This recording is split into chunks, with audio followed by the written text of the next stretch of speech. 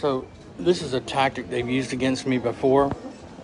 It's called, this is the checkout gate right there. It's called forward bounding. Forward bounding is, is when there are too many people that have already pre-reserved, pre-registered for the flight. Uh, so they need to rearrange the seating or they need to roll back people's tickets so they can get people on the flight. Uh, it, just the scale, the scope and scale of the operation against targeted individuals is stunning to behold. Stunning to behold. Um, but all this is not achievable unless they can do it under, you know, uh, the pretext of there's an investigation. A 25 year, 25, I don't know when this started. I know when it was well underway, and that's 25 years ago in 1997 when they attacked me with these weapons. So, as you hear the intercom, the lady's asking for people to come forward and uh, voluntarily give up their seat so they can rearrange the seating around. The cognitive researchers go after the victim in transit, especially international transit, when they pass the victim off to new hive mind teams, to new sets of cognitive researchers. Uh, so they target the victim, uh, uh, especially in transit. And I'll, I'll, be, you know, on the, I'll be on the plane, been through it a thousand times, and suddenly I just almost pass out with drowsiness. That's those are the remote neural attacks. Using drowsiness to trick my brain into accepting the remote neural attack. That's theta state, T-H-E-T-A, theta state.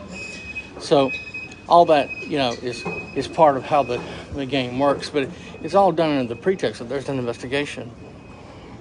A 20 this this I know for a fact they, they targeted me with these weapons back in 1997. Now, is it possible that it was going on before that? Oh, Almost certainly. That's just when it was well underway. Okay? But for an absolute fact, they targeted me with these weapons back in 1997. And here it is, 2022, 25, 25 years later. Listen. Passenger Passenger Carol Deher, Carol Deher, GM Philip, GM Philip. If you have your name, please make your way to gate one. So this is uh, LAX. This is the terminal. This is the gate of departure. Uh, and this is where it all begins, where they pass the victim off to new hive mind teams like they, they do every single time.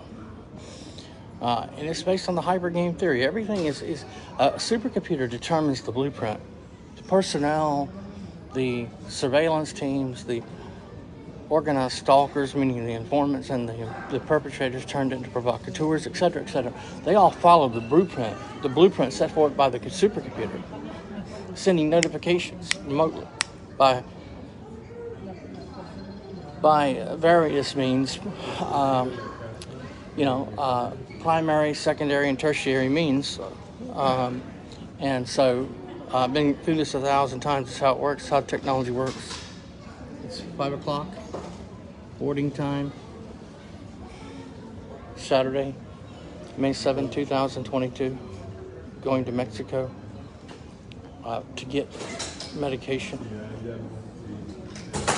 for my heart and for other stuff that I need. Because they got me set up for the 20th of May, which is two weeks away, and I can't wait that long. Uh, so, and that's just to see a primary care provider. Uh, it takes a lot longer than that to get to see a specialist. But that's such as the VA. Such as the VA hospital.